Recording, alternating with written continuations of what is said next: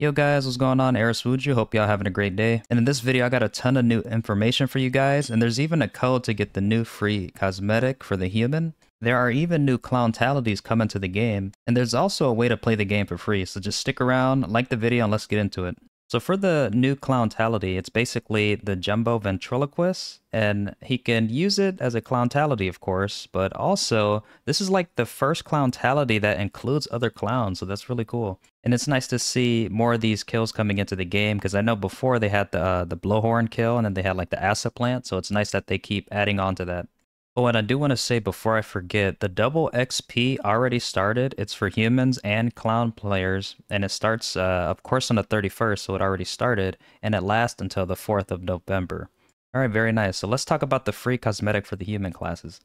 So for this skin, it's going to be a black and a tan studded jacket tints for humans, and all you have to do to get this skin is type in the characters on the screen. And for those of you that may or may not be driving, that's going to be SW33TTR34TS.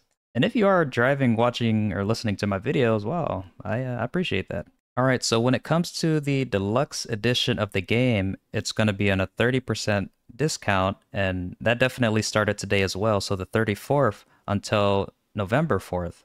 However, I did more digging, and apparently the regular version of the game is also discounted, bringing right it now, down to $28 for the regular game mode. And if you still want the deluxe edition of the game mode on sale, that's $42. But just to be clear, I just checked this from the Xbox website. I'm not sure how it is on Steam at the moment or a different console. And of course, we know we got that new map, so that's very nice. But we also got some clown skins coming, and these definitely look like they're new skins that we saw and basically the trailer, but it looks like these would be making an arrival as well.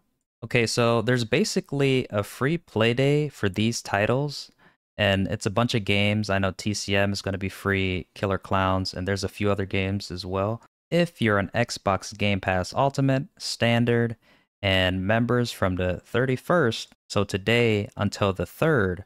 However, if you're interested in playing the Tom Clancy's game, that's going to be good until the 4th.